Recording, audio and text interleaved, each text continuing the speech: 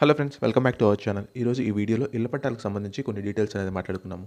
ఈరోజు పదకొండు గంటలకు మనకు ఇళ్ళ పట్టాల పంపిణీ అనేది జరుగుతుంది అలాగే పన్నెండు గంటలకు అకౌంట్లో రెండు వేలు వేనున్నారు ఇది ఎందుకు వేనున్నారు ఎవరికి వేనున్నారు ఆ డీటెయిల్స్ అన్ని మాట్లాడుకున్నాం. ఇళ్ళ పట్టాల కోసం మనం కొన్ని డాక్యుమెంట్స్ తీసుకెళ్ళాల్సి ఉంది అవి కూడా మాట్లాడుకున్నాం. ఇంతవరకు మన ఛానల్ సబ్స్క్రైబ్ చేసుకున్నట్టయితే సబ్స్క్రైబ్ చేసుకోండి. అలాగే పక్కనున్న బెల్ ఐకాన్ క్లిక్ చేశారనుకోండి నేను పెట్టే ప్రతి వీడియోని మీరు నోటిఫికేషన్ ద్వారా పొందొచ్చు ఏ వీడియో మిస్ కాకుండా చూడొచ్చు. ఈ వీడియో కనుక మీకు నచ్చినట్లయితే తప్పకుండా లైక్ చేయండి. అలాగే ఈ ఇన్ఫర్మేషన్ మీకు తెలిసిన వాళ్ళందరికీ షేర్ చేయండి. మనకు ఇళ్ళ పట్టాల పంపిణీ అనేది ఈరోజే ప్రారంభించనున్నారు కానీ అందరికీ ఈరోజే పంపిణీ చేయట్లేదండి. ఈరోజు ఎవరికి పంపిణీ చేయనున్నారు? మనకు ఏ ఏ డాక్యుమెంట్స్ తీసుకెళ్ళాలి? మనము ఎక్కడికి వెళ్ళాలి? ఆ డీటెయిల్స్ అన్ని ఈ వీడియోలో మాట్లాడుకున్నాం ఈ వీడియో ఎండ్ వరకు చూడండి ఎక్కడ స్కిప్ చేయొద్దండి. నేను ఆ డీటెయిల్స్ అన్న చెప్పే ముందు మీ అందరికి ఒక యాప్ గురించి చెప్పాలనుకుంటున్నాను. అదే మెషో యాప్. ఈ యాప్ ద్వారా మనం ఆన్లైన్లో షాపింగ్ అయినా చేయొచ్చు అలాగే రీసెల్లింగ్ బిజినెస్ కూడా చేయొచ్చు. కింద డిస్క్రిప్షన్లో నా రెఫరల్ లింక్ ఉందండి. నా రెఫరల్ లింక్ ద్వారా ఎవరైతే ఇన్స్టాల్ చేసుకొని ఫస్ట్ ఆర్డర్ ప్లేస్ చేస్తారో వాళ్ళకు flat one fifty rupees discount ఉంటుందండి. చాలా మంచి ప్రోడక్ట్స్ చాలా తక్కువ ధరకే ఉంటాయి. సంక్రాంతికి కానీ క్రిస్మస్ కానీ ఏదైనా జనవరి ఫస్ట్ కానీ ఎవరైనా బట్టలు కొనాలంటే ఒకసారి ఇన్స్టాల్ చేసుకుని మీకు ఏదైనా ప్రోడక్ట్ నచ్చినట్టయితే ఆర్డర్ చేయండి. Okay let start our video friends మనకు ప్రభుత్వం ఈరోజు ఎన్ని ఇళ్ళు ఉన్నారు ఎంతమందికి ఉన్నారు ఆ డీటెయిల్స్ అన్ని ఒక నోటిఫికేషన్ రిలీజ్ చేసింది. ఆ నోటిఫికేషన్ గురించి మనం కంప్లీట్గా డీటెయిల్స్ మాట్లాడుకున్నాం. ఇప్పుడు మీకు నోటిఫికేషన్ ఉన్న చూపిస్తాను. వైఎస్ఆర్ జగనన్న ఇళ్ళ పట్టాలు వేల ఊర్లకు పునాదులు. చాలా ఊర్లలో ఈ రోజే స్టార్ట్ చేయనున్నారండి. మొత్తానికి మనకు ప్రభుత్వం ఇచ్చిన లేఅవుట్లో ప్రతి ఊర్లో ఈ రోజే స్టార్ట్ చేయనున్నారు. మనకు ఈ రోజు నుంచి పదహైదు రోజుల పాటు ఇళ్ళ పట్టాల పంపిణీ అనేది ఉంది. మొత్తం ముప్పై లక్షల డెబ్బై ఆరు వేల మందికి ఇళ్ళ పట్టాలు పంపిణీ చేస్తామని చెప్తున్నారు ఇందులో వచ్చేసి కొత్త ఇల్లు ఇచ్చే వాళ్ళకి వచ్చేసి ఇరవై ఎనిమిది లక్షల ముప్పై వేలు ఉన్నారు. అలాగే టిట్కో ఇల్లు వచ్చేసి రెండు లక్షల అరవై వేలు ఉన్నారు. ఈ ఇరవై ఎనిమిది లక్షల ముప్పై వేలలో పదహైదు లక్షల అరవై వేల మందికి ఇంటికి శంకుస్థాపన కూడా ఈ రోజు చేరున్నారు. మనకు రాష్ట్ర వ్యాప్తంగా మార్కెట్ విలువ ఇప్పుడు ఇచ్చే స్థలాల మొత్తం మార్కెట్ విలువ వచ్చేసి ఇరవై మూడు వేల కోట్లు అవుతుందని ప్రభుత్వం అయితే చెప్తున్నారండి. గ్రామీణ ప్రాంతాల్లో అయితే ఒకటిన్నర సెంటు వరకు ఇస్తున్నారు. అలాగే పట్టణ ప్రాంతాల్లో అయితే ఒక సెంటు భూమి ఇస్తున్నారు.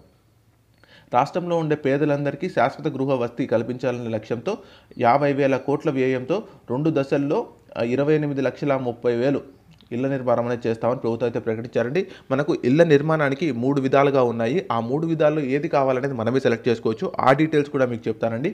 మనకు రాష్ట్ర వ్యాప్తంగా పట్టణ ప్రాంతాల్లో ఇల్లు లేని పేద అక్కచెమ్మలకు ఇరవై ఒక్క వేల మూడు వందల నలభై ఐదు కోట్లు విలువ గల రెండు పాయింట్ అరవై రెండు లక్షల టిట్కో ఇల్లు కూడా ఈరోజు పంపిణీ చేయనున్నారండి టిట్కో ఇల్లు అగ్రిమెంట్ కోసం మనం ఒక రూపాయి చెల్లించి అగ్రిమెంట్ చేయించుకోవాల్సి ఉంటుంది.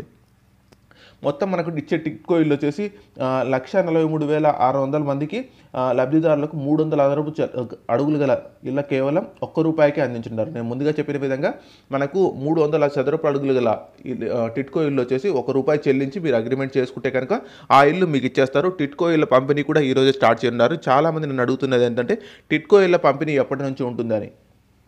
అలాగే మూడు వందల అరవై ఐదు చ- చదరపు అడుగులు నాలుగు వందల ముప్పై చదరపు అడుగులు టిట్కో ఇల్లు కూడా ఒకవైపు ప్రభుత్వం తరపున వాటా అందిస్తూనే లబ్ధిదారులు కట్టవలసిన ముందస్తు వాటా సొమ్మును కూడా యాభై శాతం మన ప్రభుత్వమే చెల్లిస్తుందని ప్రభుత్వం అయితే చెప్తున్నారండి.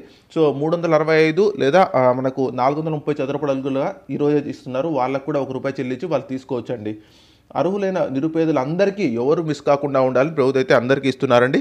అలాగే ఎవరైనా మిస్ అయి ఉంటే కనుక మీరు మళ్ళీ అప్లై చేసుకోవచ్చు. అప్లై చేసిన ముప్పై రోజుల్లో మీకు వెరిఫికేషన్ అనేది జరిగి మీకు మళ్ళీ ఇళ్ళ పట్టాల పంపిణీ అనేది తప్పనిసరిగా చేస్తామని చెప్తున్నారు. సో మనము ఈరోజు కొన్ని వస్తువులు అనేది తీసుకెళ్ళాల్సి ఉంటుంది. ఆ వస్తువులు ఏంటో కూడా మీకు చెప్తాను. ఈరోజు మీకు ఇళ్ళ పట్టాల కోసం వెళ్ళినప్పుడు తీసుకువెళ్ళాల్సిన వస్తువులు తప్పనిసరిగా మీ రైస్ కార్డు అలాగే మీ ఆధార్ కార్డు మీ ఐడి ప్రూఫ్ అలాగే మీ అడ్రస్ ప్రూఫ్ కూడా తీసుకెళ్ళండి. ఈ నాలుగు వస్తువులు మేజర్గా తీసుకెళ్ళండి. వీటితో పాటు తప్పనిసరిగా మీ పాస్పోర్ట్ సైజ్ ఫొటోస్ కొన్ని తీసుకెళ్ళండి. మూడు నెల నాలుగు పాస్పోర్ట్ సైజ్ ఫొటోస్ తీసుకెళ్ళండి.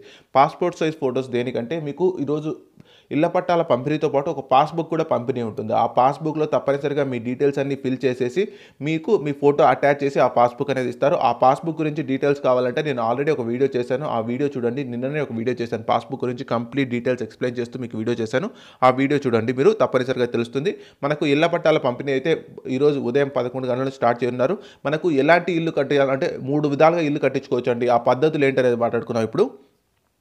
గృహాలు మంజూరైన లబ్ధిదారులకు ప్రభుత్వం మూడు నిర్దేశించిన పద్ధతుల్లో తమకిష్టమైన పద్ధతిని వారే ఎంచుకునే వెసులుబాటు కల్పిస్తుంది. నేను చెప్పిన విధంగా మూడు పద్ధతులు ఉంటాయని చెప్పాను కదా ఇక్కడ చూడొచ్చు మూడు పద్ధతులు ఏవైనా ఫస్ట్ పద్ధతి వచ్చేసి ప్రభుత్వం ఇచ్చిన నమూనా ప్రకారం ఇల్లు నిర్మించుకోవడానికి అవసరమైన నాణ్యమైన నిర్మాణ సామాగ్రిని ప్రభుత్వమే సరఫరా చేసి లేబర్ ఛార్జీలు డబ్బు ఇస్తుంది.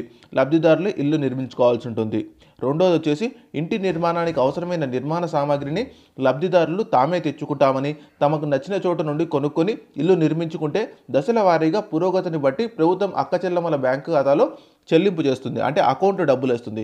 మూడో పద్ధతి వచ్చేసి మేము కట్టుకోలేమండి మాకు అలా స్థాయి లేదు మేము లేబర్ని మాట్లాడుకోలేము ఏమి చేయలేము అని చెప్తే కనుక వాళ్ళే మొత్తం ప్రభుత్వమే మొత్తం తీసుకొని కాంట్రాక్ట్ కింద తీసుకొని వాళ్ళే మీకు ఇల్లు కట్టిస్తారు.